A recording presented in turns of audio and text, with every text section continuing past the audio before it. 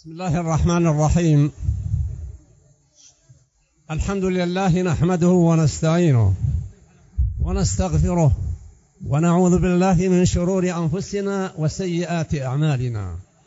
ونشهد أن لا إله إلا الله وحده لا شريك له. له الملك وله الحمد وهو على كل شيء قدير.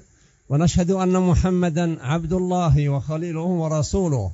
أرسله رحمة للعالمين. فبلغ الرسالة وأدى الأمانة ونصح للأمة وجاهد في الله حق جهاده. صلوات الله وسلامه عليه ورضوانه جل وعلا على أصحاب محمد. أولئك القوم الذين تركوا أوطانهم وتهاونوا بأموالهم وأهليهم وهاجروا إلى رسول الله صلى الله عليه وسلم وهاجروا معه قاتلوا معه وبعده فاللهم ارض عنهم وأرضهم فهم الذين بلغوا هذا الدين لمن جاء بعدهم رضي الله عنهم وأرضاهم وجعلنا جميعا من محبيهم الحريصين على الاقتداء بهم المترضين عنهم واخزى الله كل من يشنأهم أو يبغضهم وبعد. ففي الصحيحين من حديث حذيفة بن اليمان رضي الله عنه قال كان الناس يسألون النبي صلى الله عليه وسلم عن الخير وكنت أسأله عن الشر مخافة أن يدركني أن يدركني. فقلت يا رسول الله كنا في شر فأتانا الله بهذا الخير يعني الإسلام. فهل بعد ذلك الخير من شر؟ قال نعم. فقلت وهل بعد ذلك الشر من خير؟ قال نعم وفيه دخن. قلت وما دخنوا قال أناس يستنون بغير سنتي. تعرف منهم وتنكر. قلت وهل بعد ذلك الخير من شر؟ قال نعم. دعاة على أبواب جهنم يدعون الناس إليها. من أجابه أجابهم قذفوه فيها. قال قلت صفهم لنا يا رسول الله. قال هم من بني جلدتنا ويتكلمون بألسنتنا. قال قلت فإن أدركني ذلك؟ قال الزم إمام المسلمين وجماعتهم وجماعتهم. قال إن لم يكن للمسلمين إمام ولا جماعة. قال اعتزل تلك الفتن. ولو أن تعض على أصل شجرة حتى يأتيك اليوم الموعود. هذا الحديث الذي يرويه حذيفة رضي الله عنه المخرج في الصحيحين وغيرهما يبين أصل هذا الخير.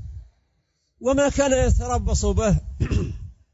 وأن النبي أخبر أن ما يأتي من خير فيه دخن.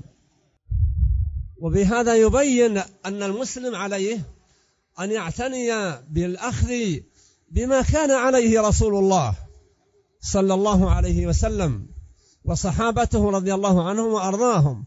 فإنه لما ذكر الفرقة الناجية وسئل عنها قال من كان على مثل ما أنا عليه اليوم وأصحابي. فما كان عليه النبي والصحابة هو طريق الفرقة الناجية. فالمسلم ينبغي أن يكون غاية الحذر في كل وقت. لكن عندما تشتعل نيران الفتن ويرفع الرافعون لرايات الفتنة يمنة ويسرى ويقوم دعاة يدعون أنهم على الهدى ويدعون الناس إلى غير سنة المصطفى صلى الله عليه وسلم. ينبغي للمسلم أن يكون دائم الحذر وأن يحرص على التمسك بما جاء في كتاب الله جل وعلا وفي سنة رسوله صلى الله عليه وسلم. وما بلغه الصحابة فإنهم الذين حملوا هذا الدين عن رسول الله وهم الذين بلغوه لمن جاء بعدهم. ولذلك قال رسول الله صلوات الله وسلامه عليه. خير الناس يعني بعد الأنبياء والرسل خير الناس. القرن الذين بعثت فيهم وهؤلاء الصحابة عموما. قال ثم الذين يلونهم أي الذين بعد الصحابة وهؤلاء التابعون.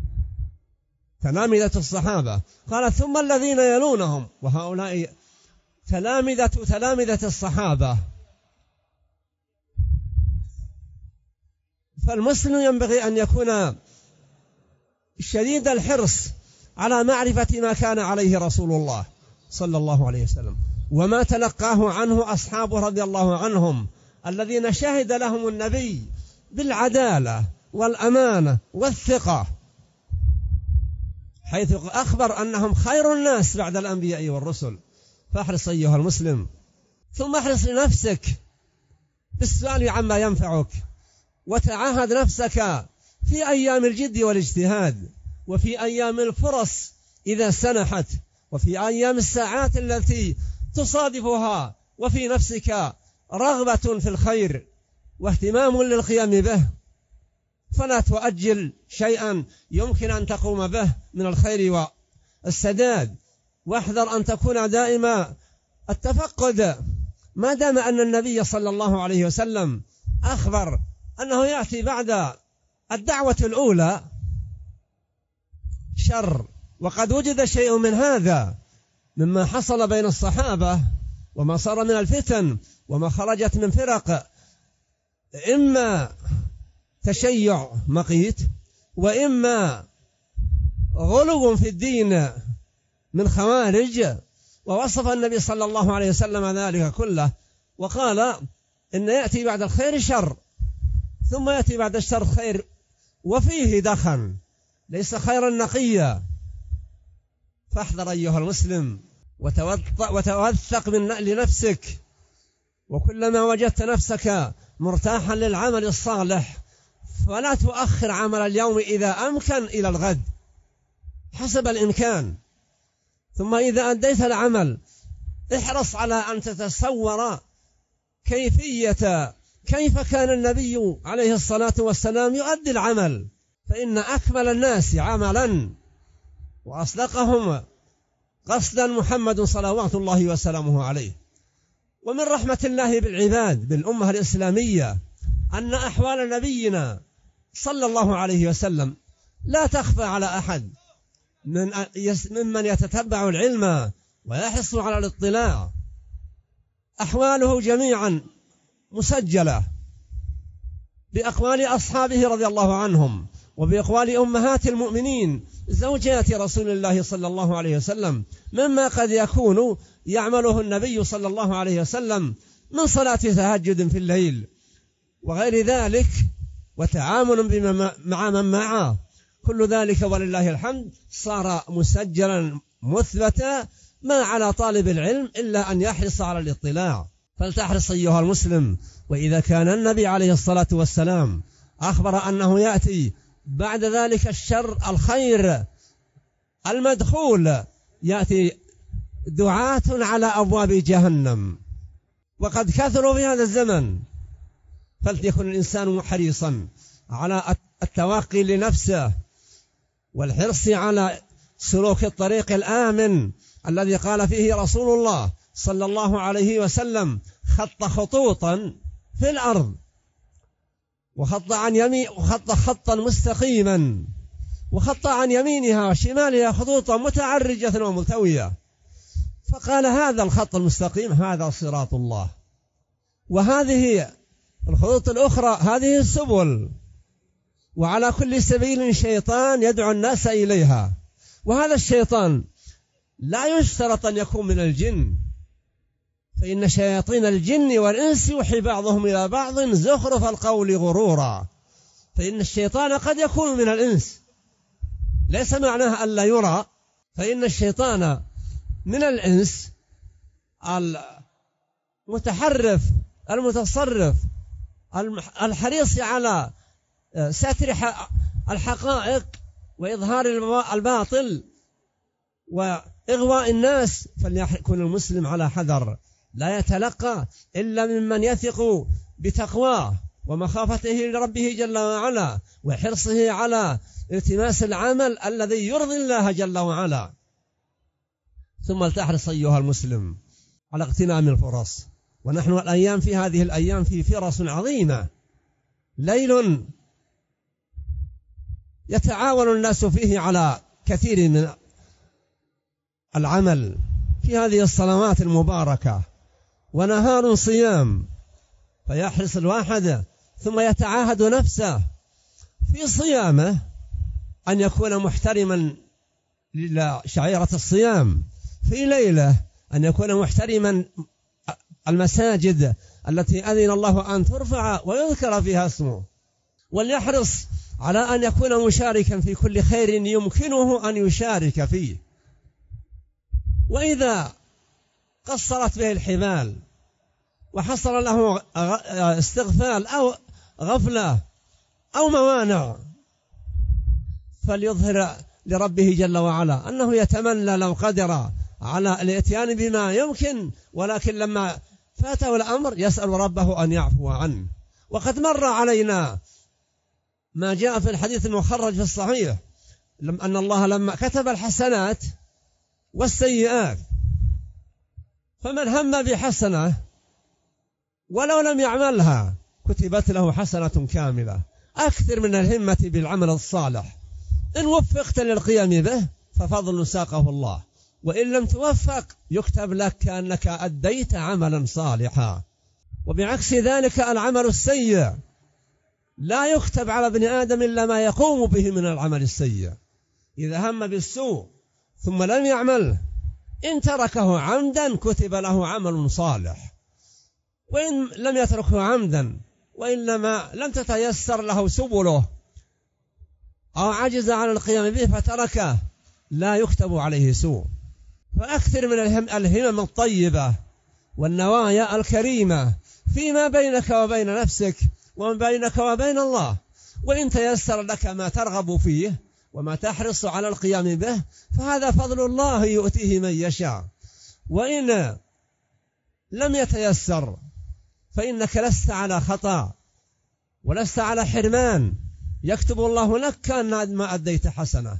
إن أديت فعشر مضاعفة أو مئة أو سبعمائة أو ما لا يعلمه إلا الله. وهذه الزيادات العالية إنما يجعلها الله كذلك لمن كان إيمانهم قويا ورغبتهم بطاعة الله لا حدود له وحرصهم على القيام بأداء فضائل الأعمال تجعلهم يفوزون بأشياء كثيرة. فإن كثرة التقرب إلى الله بنوافل العبادات من أسباب اجتلاب حب الله لعبده. والله جل وعلا أكرم الأكرمين. إذا أحب عبدا لا يتركه تتقاذفه الأعداء وتتمزعه المحن والفتن. فإن الله قادر على كل شيء وقال إن الله يدافع عن الذين آمنوا. فاحرص أيها المسلم في أيامك هذه ولياليك على القيام بأحسن ما تستطيع أن تقوم به من الأعمال الصالحة. من أعمال لسانية أو في جهد عملي. أو بذل بقدر المستطاع أو غير ذلك من الأعمال الصالحة والإكثار من التوبة والاستغفار والإكثار من التسبيح والتهليل والتحميد والتكبير. وقد مر علينا حديث شكوى الفقراء من قيام الأغنياء بالبذل من أموالهم ويشاركون إخوانهم في عباداتهم. فدلهم النبي قال أدلكم على ما تسبقون به غيركم ولا يجاريكم إلا من يعمل مثل عملكم مثل عملكم. وأرشدهم إلى التسبيح والتهليل والتكبير بعد كل فريضة. هذه الثلاث تقال بعد كل فريضة ثلاثا وثلاثين مرة. مجموعها تسع وستون وتسعون كلمة. تكمل بلا إله إلا الله وحده لا شريك له تبلغ مئة. إذا حافظ عليها الإنسان كتب له خير عظيم. فلتحرص أيها المسلم في هذا الشهر المبارك الذي هو مجال التسابق مجال التزاحم على طرق الخيرات مجال التناشط. لأن الإنسان إذا رأى ناسا يعملون كعمله نشط للمجاراتهم أو لرغبة سبقهم أو على الأقل مجرد مجاراتهم. فاحرص أيها المسلم. ثم فيما يتعلق بلزوم جماعة المسلمين.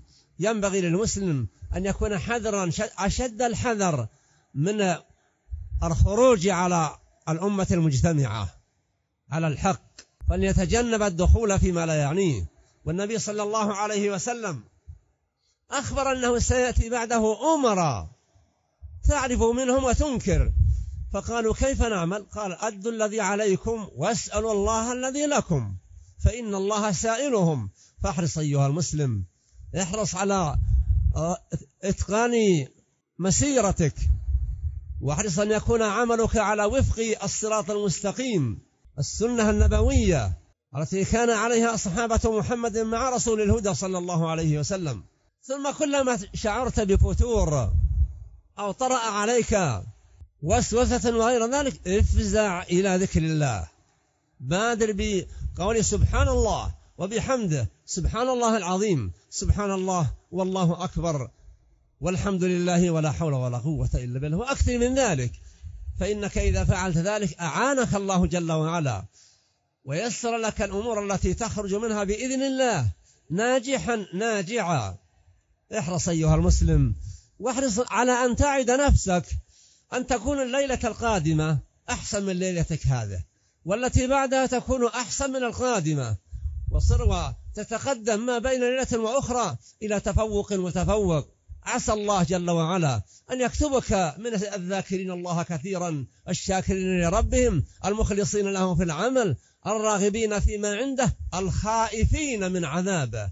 أسأل الله جل وعلا بأسمائه وصفاته أن يصلح حالنا وحال المسلمين في كل مكان وأن يجيرنا من الفتن ما ظهر منها وما بطن.